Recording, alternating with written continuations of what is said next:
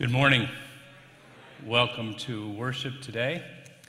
Uh, good to see you all here. Um, over here in the gathering space, Lutheran Men in Mission have a table set up. They have crosses for sale, information about some of their projects, information about the bridge walk. So check that out if you're interested after service today. There's also a table out there about Lutheran World Relief kits, um, something that we as a congregation work at every year. Information out there about that. Um, is there anybody from the Board of Social Ministries here today for a temple talk? We thought somebody was going to be here, but there isn't anybody. There's a table out there that takes care of one of their projects.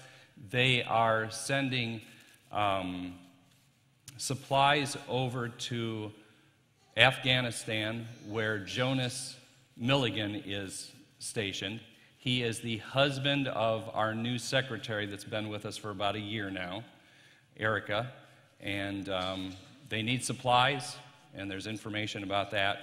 Um, check that out, please. And there's probably something in the bulletin about it, too. Um, September 8th, we begin our new hours with contemporary service at 8 o'clock, 10.30 traditional service with a dedicated Sunday school or education hour in between, 9.15 to 10.15. On that date, September 8th, we will hold an intergenerational rally day downstairs for Sunday school. So the regular Sunday school classes will not start until September 15th. We invite all of you to attend the rally day and the look forward to the expanded adult um, Sunday school classes. Also on September 8th, at both services, we will celebrate Holy Communion as we also celebrate our anniversary day and the 25th anniversary of the ELCA. There's plenty of other announcements and more details about these in the bulletin. You can take care of that yourself, obviously. Would you please stand for the confession and forgiveness?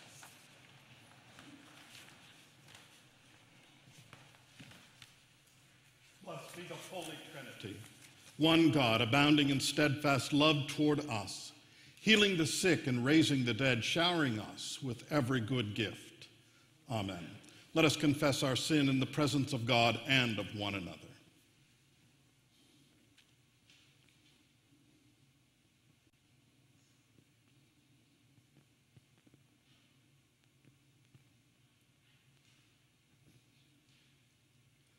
Just and gracious God, we come to you for healing and life. Our sins hurt others and diminish us. We confess them to you. Our lives bear the scars of sin. We bring these also to you. Show us your mercy, O God. Bind up our wounds, forgive us our sins, and free us to love. For the sake of Jesus Christ, our Savior. Amen. The Apostle Paul assures us when we were dead in our trespasses, God made us alive together with Christ, nailing the record of our sins to the cross. Jesus says to you, your sins are forgiven. Be at peace and tell everyone how much God has done for you. Amen. Let us join in our gathering hymn, O Day of Rest and Gladness, hymn number 521.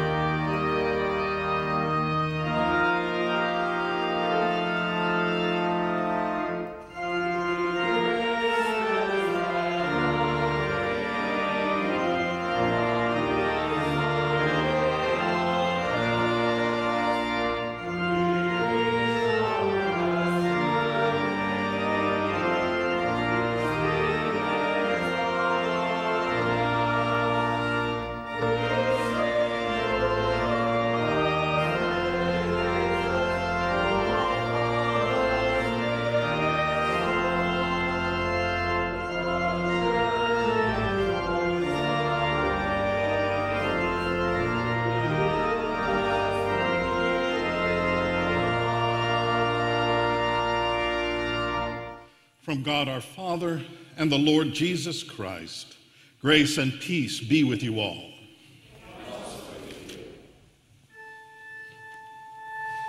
In peace, let us pray to the Lord. Lord, have mercy. For the peace from above and for our salvation, let us pray to the Lord. Lord, have mercy.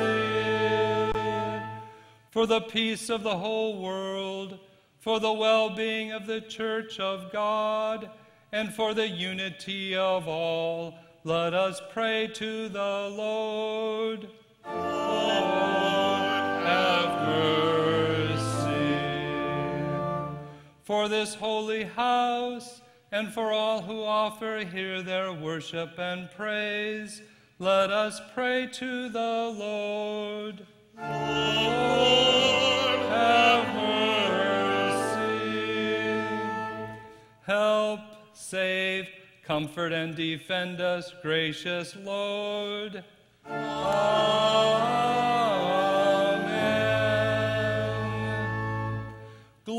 Glory to God in the highest, and peace to God's people on earth. Lord God.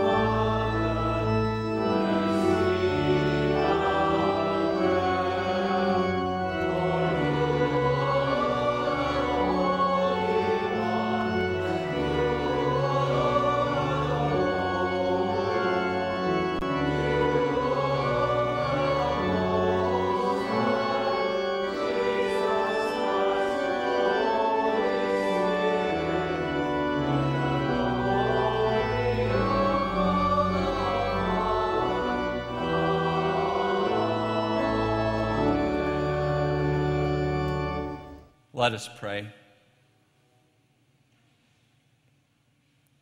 O God, mighty and mortal, you know that as fragile creatures surrounded by great dangers, we cannot by ourselves stand upright. Give us strength of mind and body, so that even when we suffer because of human sin, we may rise victorious through your Son, Jesus Christ, our Savior and Lord. Amen. You may be seated.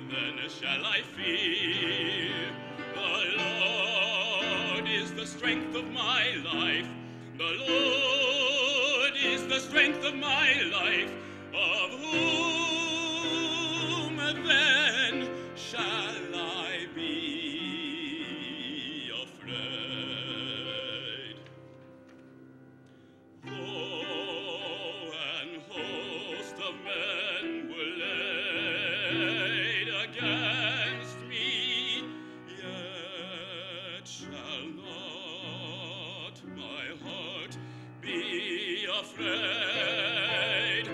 And though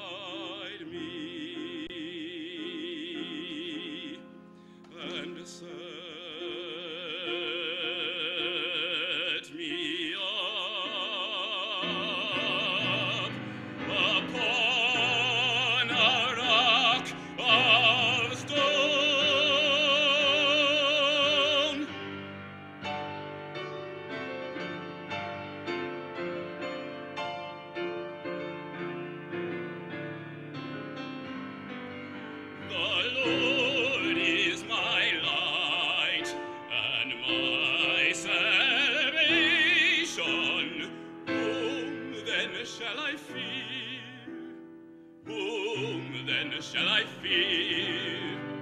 The Lord is the strength of my life. The Lord is the strength of my life. Of whom then shall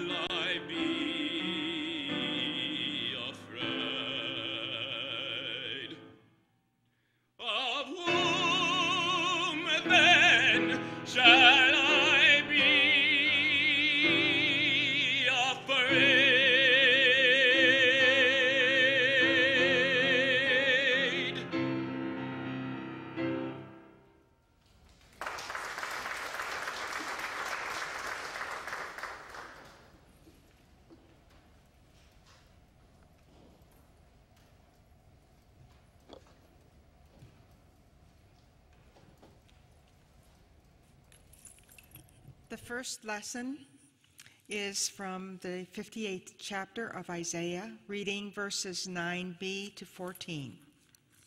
If you remove the yoke from among you, the pointing of the finger, the speaking of evil, if you offer your food to the hungry and satisfy the needs of the afflicted, then your light shall rise in the darkness, and your gloom be like the noonday. The Lord will guide you continually and satisfy your needs in a parched places. Make and make your bones strong, and you shall be like a watered garden, like a spring of water whose waters never fail. Your ancient ruin shall be rebuilt. You shall raise up the foundation of many generations. You shall be called the repairer of the breach, the restorer of streets to live in.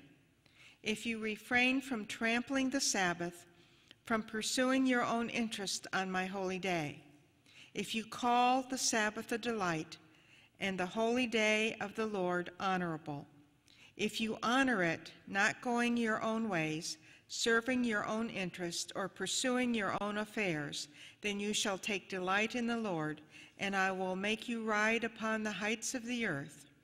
I will feed you with the heritage of your ancestor Jacob, from the mouth of the Lord has spoken. The word of the Lord. Thanks be to God. The responsive reading is Psalm 103, 1 to 8. Please follow in your bulletin. Bless the Lord, O my soul, and all that is within me, bless God's holy name.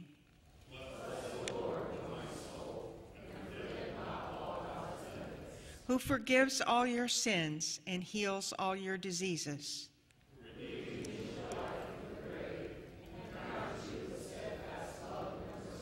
Who satisfies your desires with good things so that your youth is renewed like an eagle's.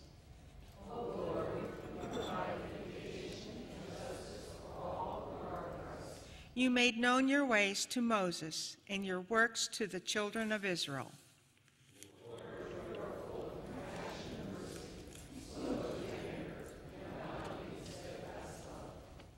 The second reading is from the 12th chapter of Hebrews, reading verses 18 through 29.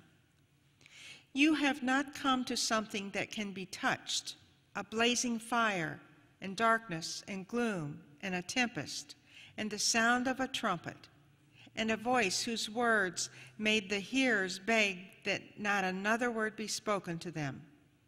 For they could not endure the order that was given. If even an animal touches the mountain, it shall be stoned to death.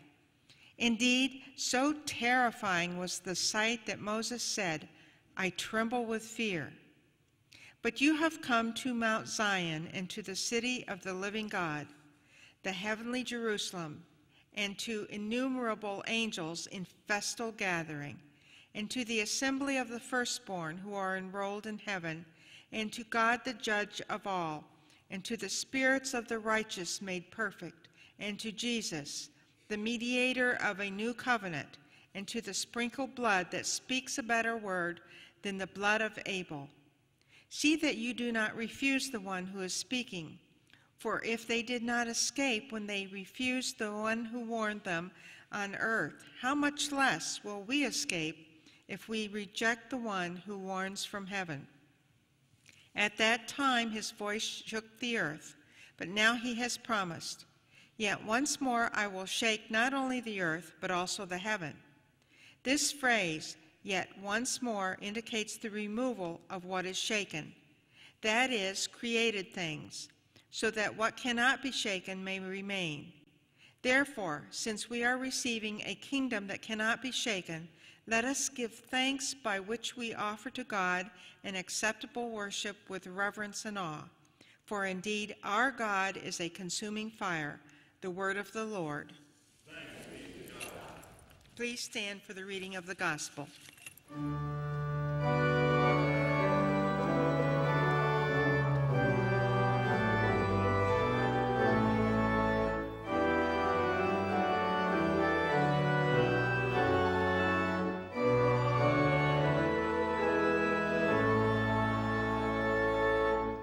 Holy Gospel according to St. Luke, the 13th chapter.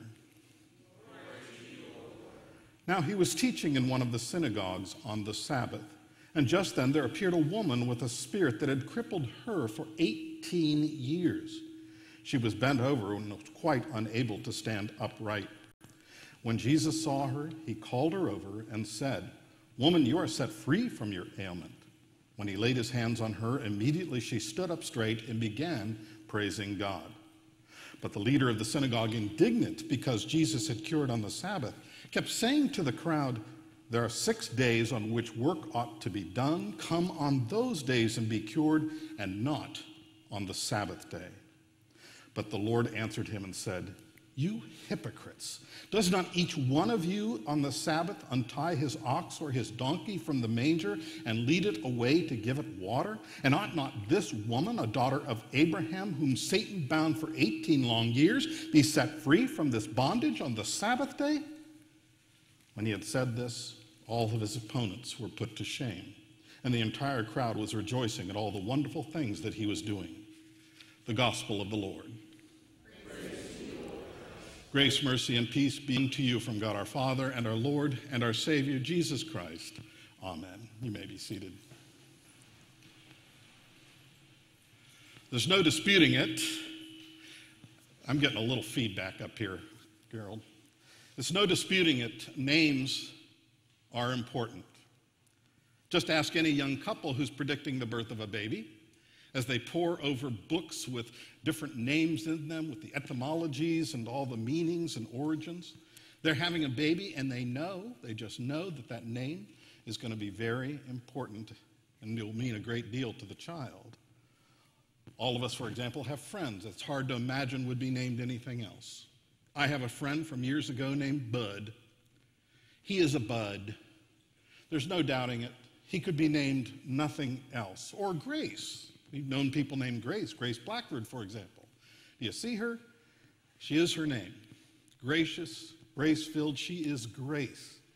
It's like someone saw these people before they grew up, got to know them, and said, Yep, you should be called Bud.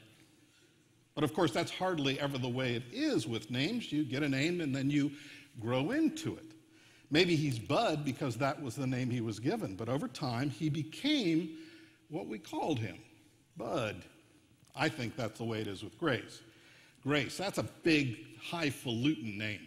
I mean, I can't imagine that. And it probably didn't reflect a, a little child running around the house in her diapers. But over time, over time, she was called Grace and she became Grace, gracious, graceful. Where do, rarely do we pick out names for ourselves. Oh, some people do, but rarely do we. It's more like our names pick us. Our parents give us our names. Other people bestow names upon us, and sometimes these names, these nicknames, are not at all the names we would have chosen for ourselves. I belong to a unique fraternity at Miami. We were a deep and close family at the radio station, and of course, everybody had to have a nickname. There was Goofus, and there was Jock, and there was Zeus, and there was the Beast, and there was Slim, and there was Crowd, and there was the Kid. Sometimes these names were given in loving jest, designating that we cared for that person. The one who kept asking questions at all the production meetings and had to meditate on the deep reality of the party he attended the night before, we called him Plato. Yet there were other not so generous names Pee Wee, Fatso, Hunchback, Crip, Squeaky. Sometimes these names represent cruelty toward others rather than our love. I got a re- really great opportunity last week, among all the things happening at Churchwide, to reconnect with a friend I've missed for at least 17 years. He's middle aged, and we went to Primanti Brothers, and I suggested he indulge himself in a bowl of ice cream, and he wouldn't do it. I pressed him, I urged him to join me in eating the forbidden calories. I figured if he ate one and I ate one, then it was good. And I said to him, Why on earth are you worried about this? I couldn't believe he was so resistant. I mean, he's skinny as could be. We could call him slim. I said, You've never been fat. And he said, But I was. Really? I said, That must have been a long time ago. And he said, It was. As a kid growing up, they called me Chubby. That name stuck with me all through college. I hated it. I smiled when they said it to me, but I was dying inside, and I swore to God that one day I would never be fat again. Wow. Can you feel the pain? Do you know that pain? The pain of a name that hurts, traps, confines, cuts to the heart. It makes very much difference how we are named. Today's gospel is a story about a woman. Now, in the Bible that I use, she is identified as the bent woman. If you looked at the title of this section of Scripture, it says the bent woman. How would you like to be immortalized as a bent woman? She was bent over, had been bent over, staring at the ground, contorted for many, many years. Now, she doesn't appear to have a name. Perhaps when they saw her creeping down the street, body bent, eyes attempting to lift up from the ground, perhaps they didn't say, Here comes Mary, or Look, there's Elizabeth, but maybe they said, Here comes that bent woman. That was who she was. That was her life, her destiny, her whole sad fate. I know that a few of us get a little less than patient in efforts to speak of persons with some not so traditional designations. It's called political correctness, such as crippled, blind, or deaf.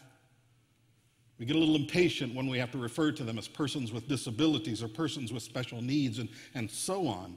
But I wonder if it would help us to think that maybe this is an attempt by those who are different from the majority to name themselves to gain some freedom from having the majority identify them that way, to label them, pigeonhole them, and perhaps discriminate against them.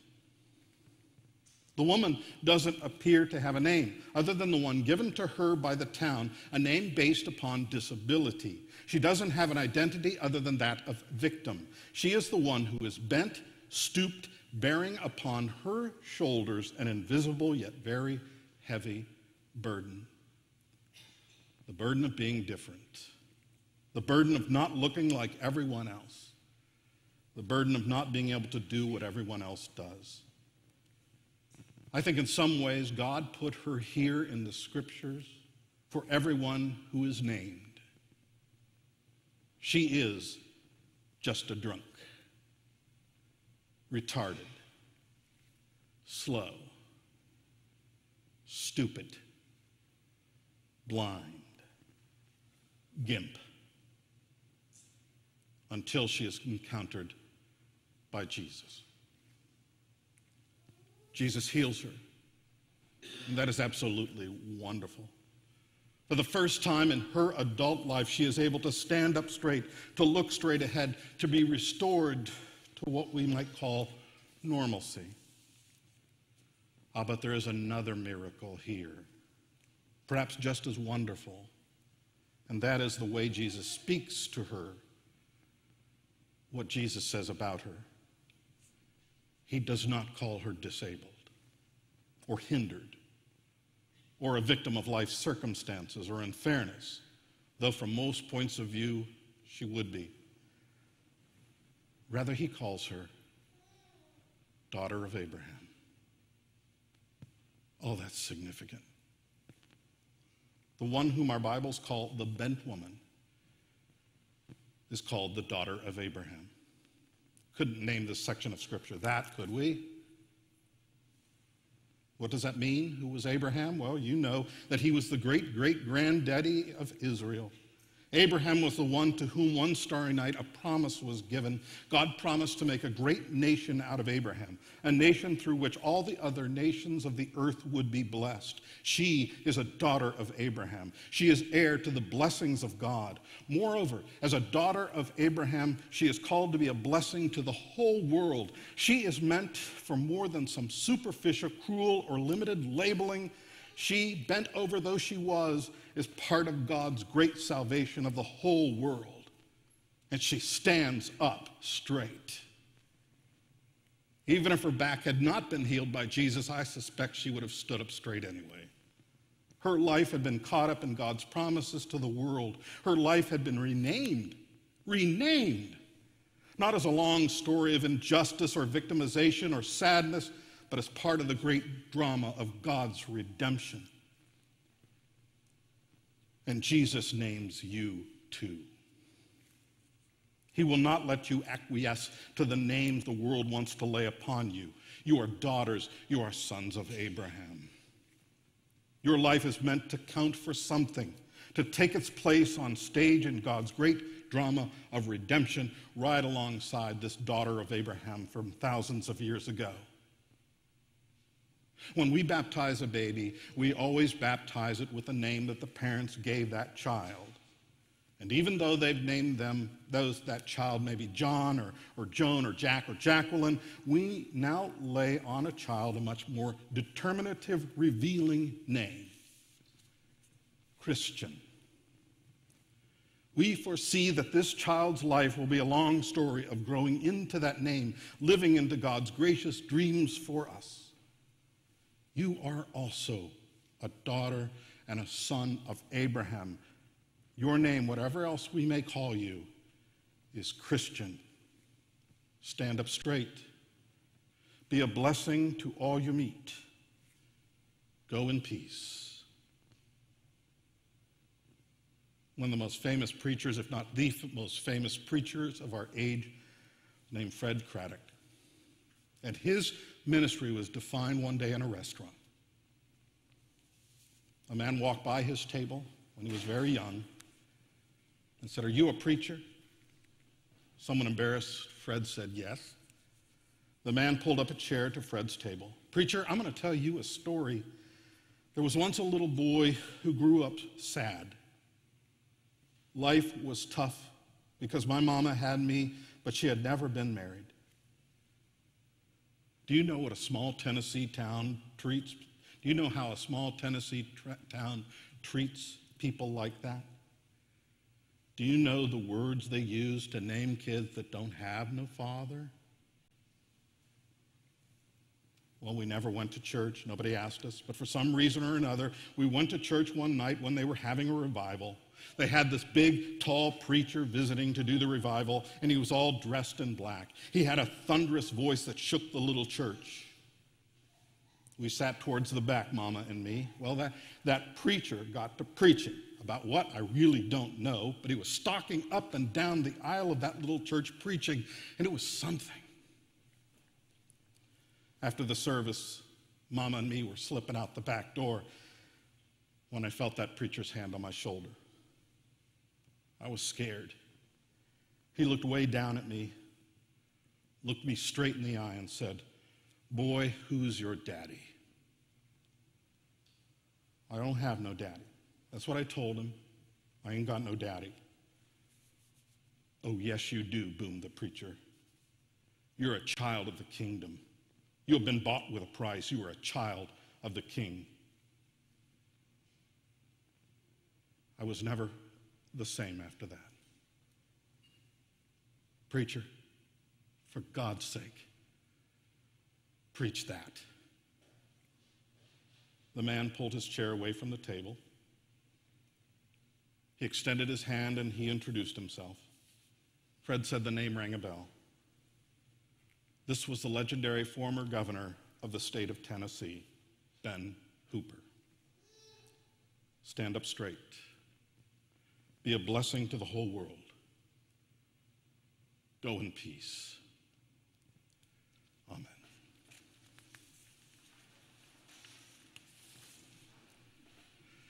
May the peace of God, which passes all human understanding, keep your hearts and your minds in Christ Jesus.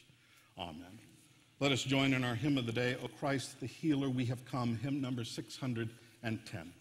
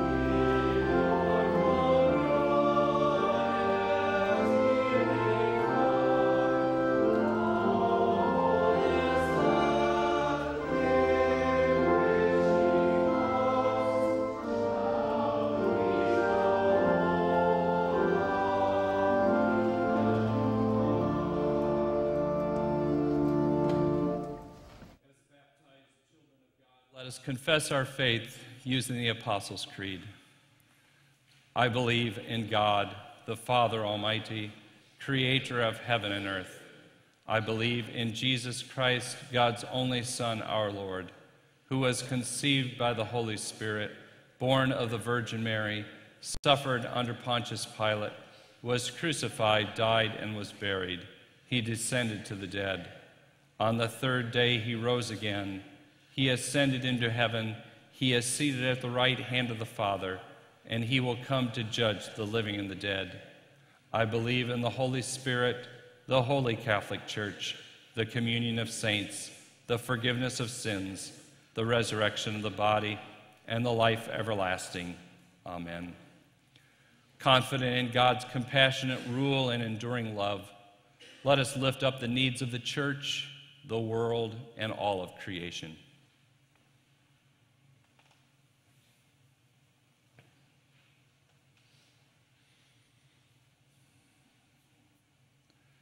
Deliver your church from all that binds and limits. Free us to boldly proclaim the gospel and seek the truth. Today we pray especially for St. John Lutheran Church in Hicksville. Lord, in your mercy, bestow on your creation ample rain and an abundant harvest. Cultivate in us a fresh respect and a deep humili- humility for the environment. Lord, in your mercy. Uphold the oppressed, liberate those in bondage, and strengthen those who labor under the yoke of repressive government. Free us to work for justice and peace. Lord, in your mercy. Rescue all in harm's way. Sustain the poor and hungry. Heal those who are ill or afflicted. This morning, we pray especially for those whose names are listed in the bulletin, along with Michelle Cole, Dale, Dave Swart, Betty McLaren, Autumn Michaels, Bill Cones. We pray for the family and friends of Carl Spires, the family and friends of Pastor Ed Winkler and his wife Ruth, the family and friends of Doris Baker, and the family and friends of Dorothy Weiser. We pray for those in care facilities, those bound at home, and all caregivers. We ask for your blessings upon the military, and we offer our prayers for all others whose names we place before you this morning. Free us to be your hands of love and compassion. Lord, in your mercy. Save us from lives and schedules filled with too much activity.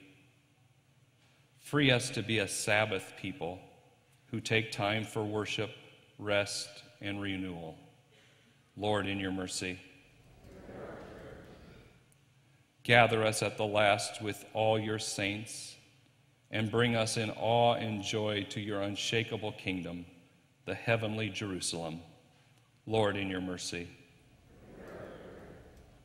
God of mercy, hear the cries of your people and answer us according to your steadfast love. Through our Lord and Savior Jesus Christ. Amen. The peace of Christ be with you always. Let us extend a sign of peace to one another.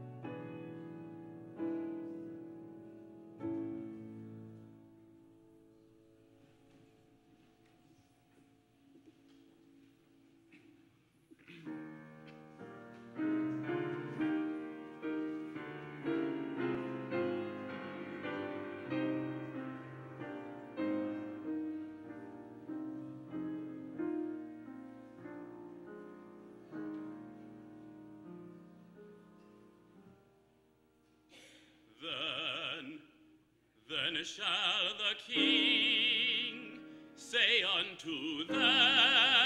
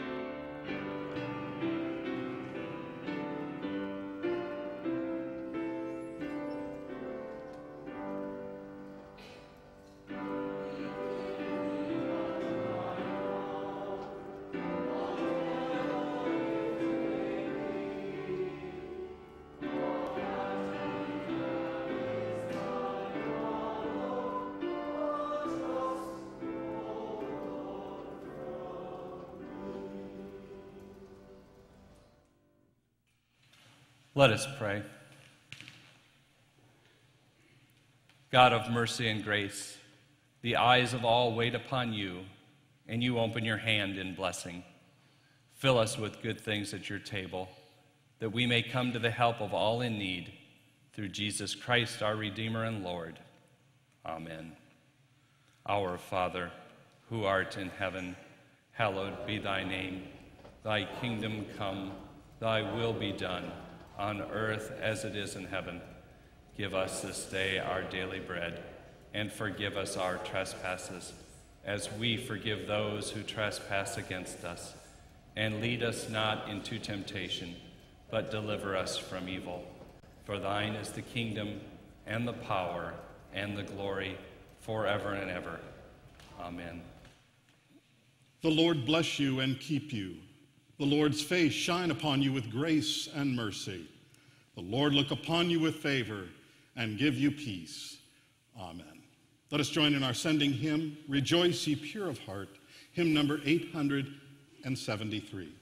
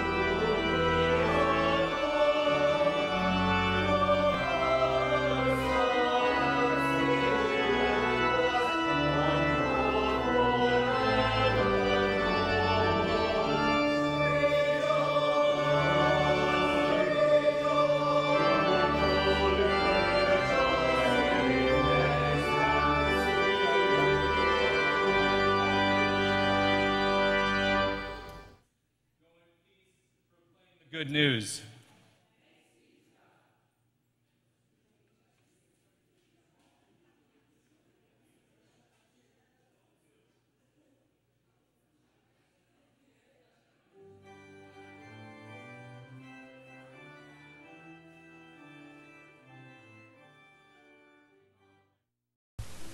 We at Emanuel Lutheran Church in Marion want to thank you for joining our worship service today.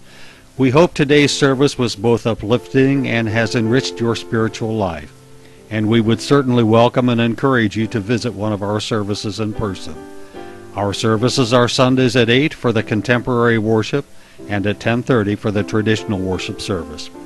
Thursday evenings at 7:30 we have our praise service, and the fourth Sunday of each month at 1:30 we have our gentle worship service. We also want to thank you for your continued support of our television ministry. Won't you help us continue spreading the gospel of Christ by sending your donations to Emanuel Lutheran Television, 241 South Prospect Street in Marion, Ohio? No gift is too small and will help us with our mission of spreading the word of Christ. So until our next broadcast, God be with you till we meet again.